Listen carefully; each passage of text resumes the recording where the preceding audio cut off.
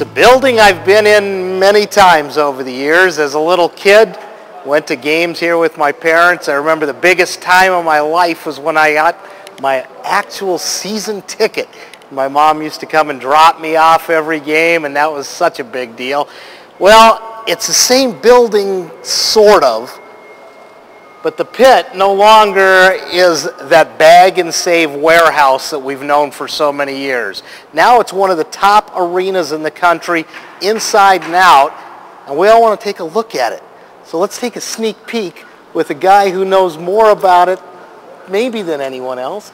Head coach Steve Alford, you want to take us around a little yeah, bit? I'd love to. We're very prideful of this place and uh, we're getting ready to move in, so I'd love to show you the place. All right, let's take a look. What's really neat is I think what they've done with the new pit is they've given it a Hall of Fame feel. So in a couple of the corners in the pit now, you have these kiosks out here where you can touch any part of the screen and then it'll bring up different things, either on the men's side, the women's side, different eras of your greatest moments. And for instance, like my favorite is the block at BYU. I think this is what's really cool that wasn't a part of the old pit. If you remember the, the original pit just had the banners that hung all the way around the concourse. Right. And what's cool now is we've really given it a lot more history and, and it's uh, obviously beautiful artwork, but people, I think you'll see them standing here reading about different eras. And as you go throughout the pit and make the big circle, you go through different Lobo history timelines.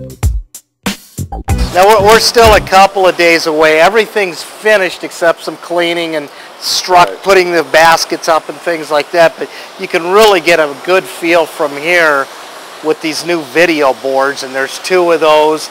You guys kept the old scoreboards for a little nostalgia. Right. And I think the most impressive thing maybe of everything is this is still the pit.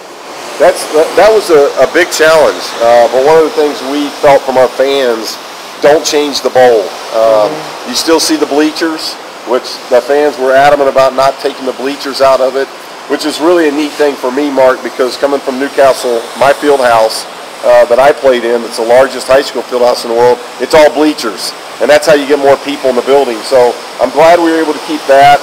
All the cushion backs are still over here on this side. It's all red. The difference is now the bleachers are all red and silver. You can see how they've been all brandly new capped. Uh, we just got as much red as, as we could anywhere. Our brand new baskets come uh, in a couple days. So the, before our first exhibition game, we'll have brand new goals in here. So it's uh, it's really taken on a great look.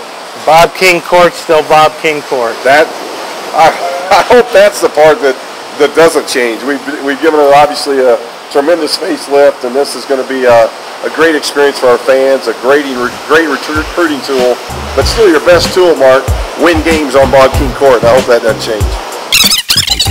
Hey, so you're probably not going to be using this during the games, though. No, no. If, if I'm using this during the games, I've been ejected, so things aren't good.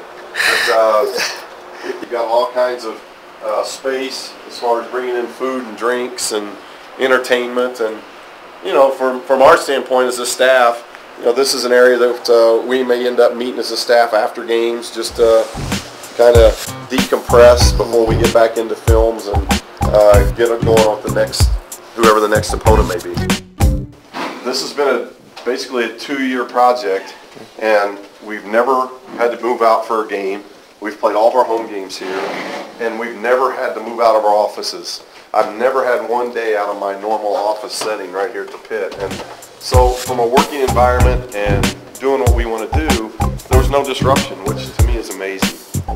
Appreciate the uh, Thank tour. You. Thank you. Is that with all of this stuff, there is no chance UNM loses another game in the in the history of the pit. Yeah, I wish that was the case. Uh, as good as the old pit was, we still lost occasionally, but I I'll take 83, 84% home win record over the years, and this is, as you know, a very special place, and I think it just got a facelift that's made it, uh, I think, the best in the country. We appreciate the video tour, and on Sunday we will have a special 12-page section all about this place in the Albuquerque Journal. So we appreciate you taking the tour with us. Thanks. This has been Mark Smith for the Journal Online.